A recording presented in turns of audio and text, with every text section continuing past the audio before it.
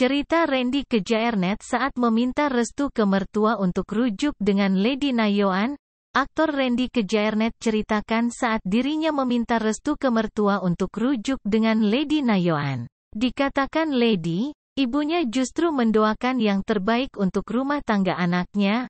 Menurut Lady, Ibunya juga sudah melihat perubahan Randy dari pemberitaan yang beredar. Randy mencoba untuk membuktikan bahwa dirinya ingin merubah sikapnya dan mempertahankan rumah tangganya bersama Lady. Ya intinya aku bilang aku akan buktiin, katanya, pada kesempatan itu. Randy ke Jaernet mengatakan, sebelumnya ia sempat mendatangi ibunda Lady Nayoan dan meminta maaf atas kesalahannya.